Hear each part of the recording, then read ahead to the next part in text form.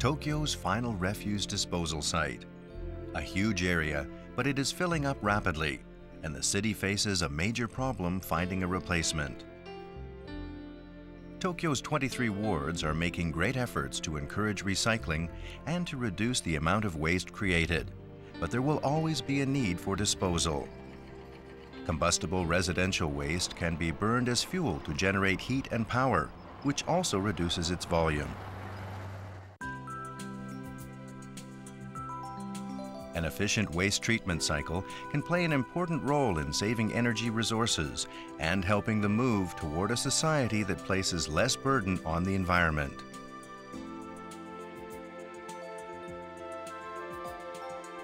Much of our waste can be recycled or reused.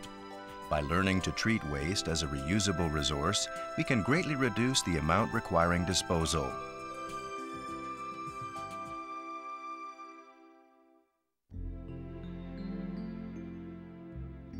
However, there will always be a large amount of waste requiring treatment and disposal, and this is a fundamental problem every society must face.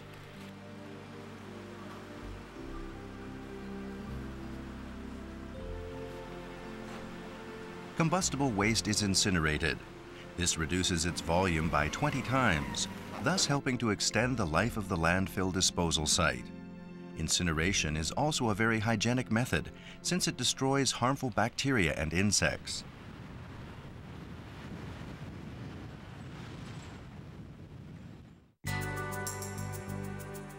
The Chuo Incineration Plant began operation from August 2001.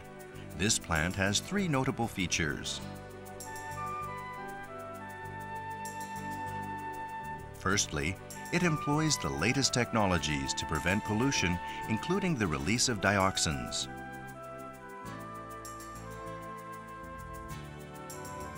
Secondly, the plant has been carefully designed to blend in with the surrounding area, forming part of the local urban development plan.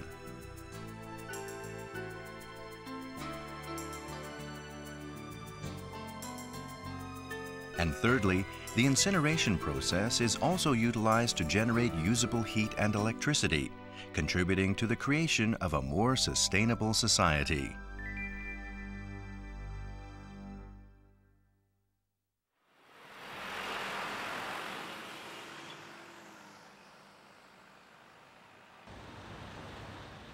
A waste collection truck arrives at the plant.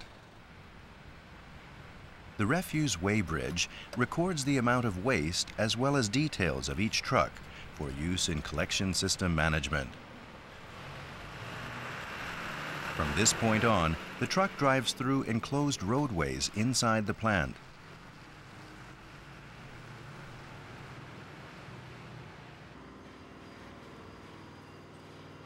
Odors are prevented from reaching the outside by automatic doors which open only to allow trucks access to the platform and by a curtain of blown air.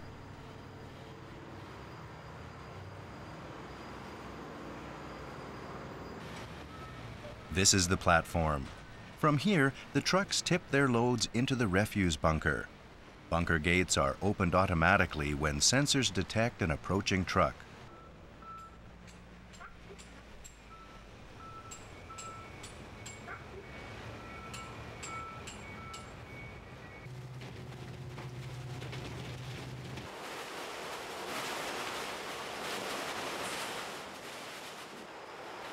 The refuse bunker provides temporary storage for the waste.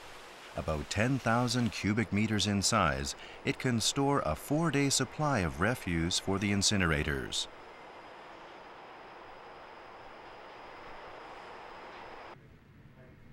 Two refuse cranes are used to spread the refuse in the bunker to prevent it piling up unevenly and to mix the contents uniformly.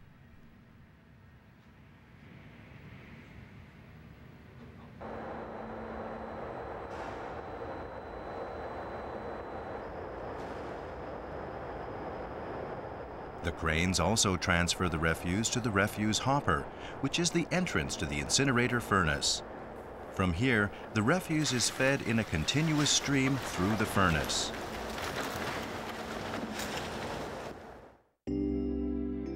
This plant has two furnaces, each capable of treating 300 tons of refuse per day.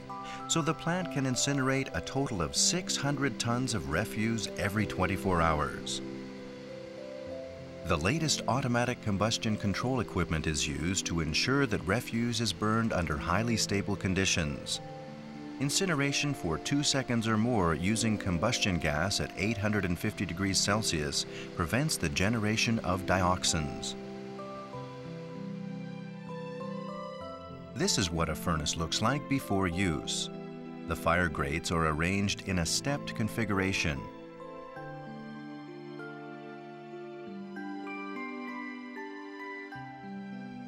As the grates move forward and back, they convey the burning refuse in a steady stream toward the bottom of the furnace.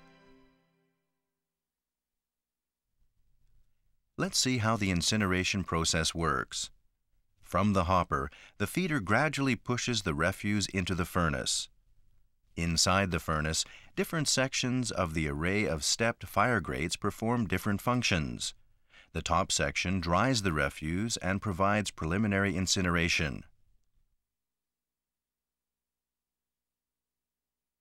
The middle section applies fierce heat for main combustion, and final combustion in the lower section ensures that any remaining refuse is fully incinerated. Refuse is conveyed steadily from top to bottom to be completely incinerated and output as ash.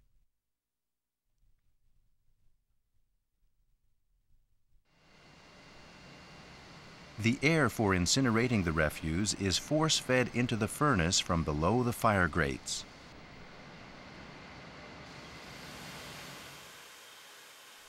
The air is blown through narrow gaps between the fire grates.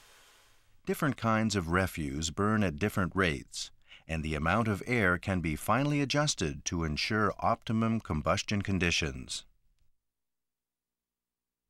Air for the incinerator is taken from the top of the refuse bunker. This maintains a constant negative air pressure in the bunker, which prevents odors from escaping. All odors are completely destroyed during high temperature combustion in the furnace.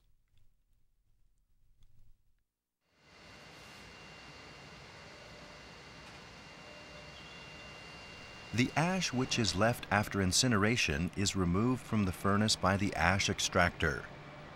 Water is added to damp down and cool the ash, which is then taken by conveyor to the ash bunker.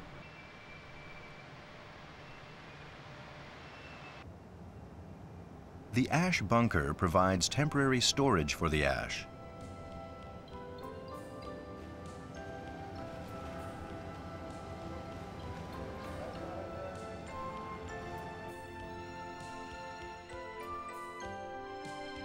From the ash loading hopper, ash is loaded onto trucks for transportation to the final disposal site.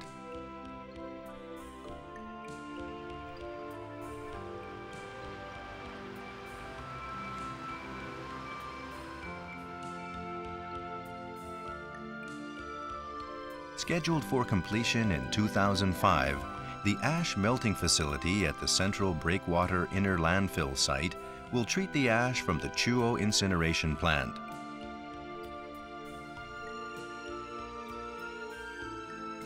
Melting the ash reduces its volume by half, thus helping to further extend the life of the disposal site.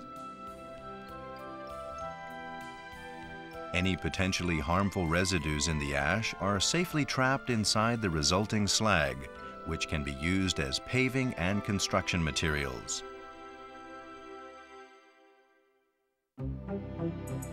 The plant operates continuously 24 hours a day, centrally controlled by a computer system.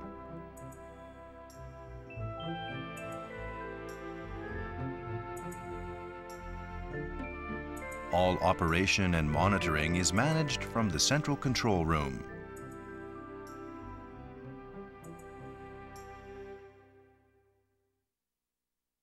Let's look at the pollution control system. Exhaust gas produced by incineration passes through four main treatment processes before being emitted from the stack. These are the gas cooler, the bag filter, the gas scrubber, and the denox reactor.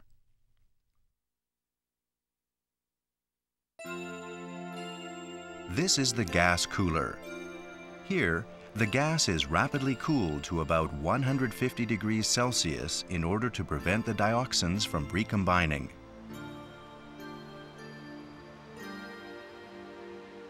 Slaked lime and a chemical agent containing activated carbon are blown into the gas, which is then passed into the bag filter.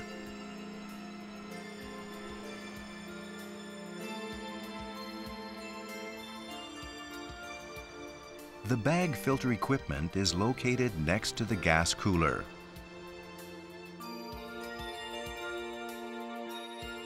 It contains a large number of fabric filters, which remove particulates and dust from the gas. Each cylindrical filter is 16 centimeters in diameter and 6 meters long. Made from special glass fabric, they filter out various harmful substances as well as removing dust. Hydrogen chloride and sulfur oxides in the exhaust gas react with the slaked lime and stick to the filters for removal.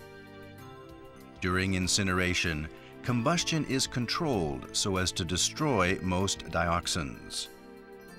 The small amount that is emitted is absorbed by the activated carbon, allowing it to be trapped by the filters. The gas then passes to the gas scrubber. Here, a solution of caustic soda absorbs and removes hydrogen chloride, sulfur oxide, and mercury compounds.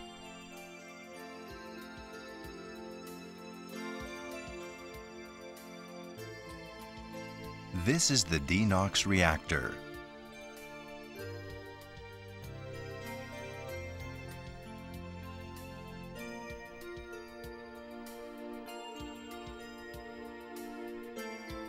Ammonia gas is blown in to break down nitrogen oxides into harmless nitrogen and water. And any dioxins remaining from the bag filter process are broken down by the action of a catalyst.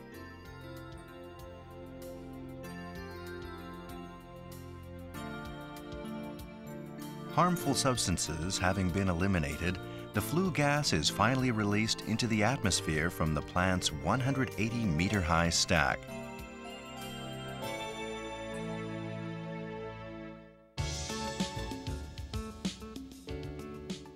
The Chuo incineration plant was designed to harmonize with the surrounding community of Harumi, forming part of the urban development strategy of Chuo Ward. The exterior of the plant was carefully designed to present a pleasing and varied appearance.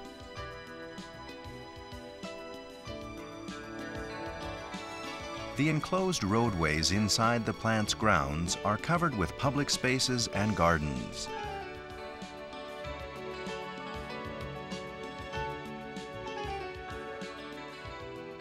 This provides another pleasant leisure space for visitors to Harumi.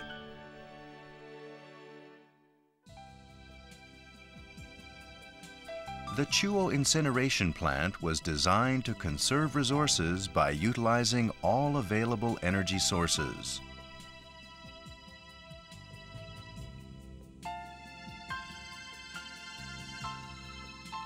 This is the plant's solar power generation system.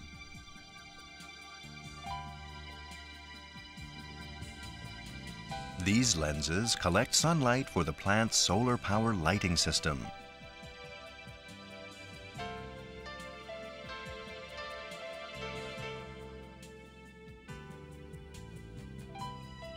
Using solar power directly to illuminate part of the plant's